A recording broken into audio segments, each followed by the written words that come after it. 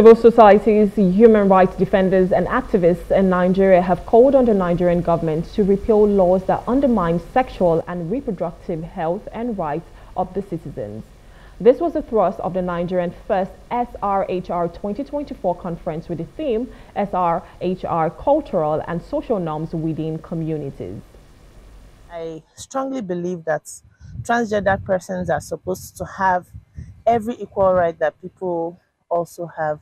But because of the norms in Nigeria and even in Africa, people get to believe that being transgender has to do with the Western world or with what we learned from the Western culture. And also people get to attach religion to to the discrimination of trans persons. And I would want a situation or a country where trans persons would not be forced into social norms, into things they do not want to do, but should be given the rights to healthcare, to legal to the legal system, to be able to seek justice. I, I verily believe that sexual and reproductive health and rights are issues that are rights inclined to the human as any other rights. And for Nigerians to enjoy this will mean that uh, we need to interrogate our laws. We need to interrogate the norms in our society.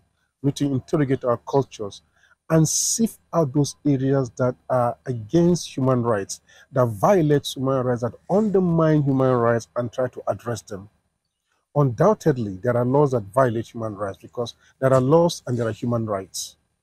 Some laws can be anti some cultures can be anti, and we need to whether it's like whether it's, our, it's at, at our workplace, in the domestic space, family level, wherever.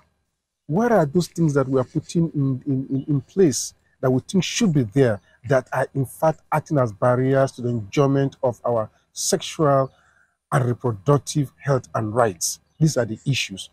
I think it's setting the precedent uh, I'm not sure that we have a specific conversation around sexual and reproductive health by organization in Nigeria before.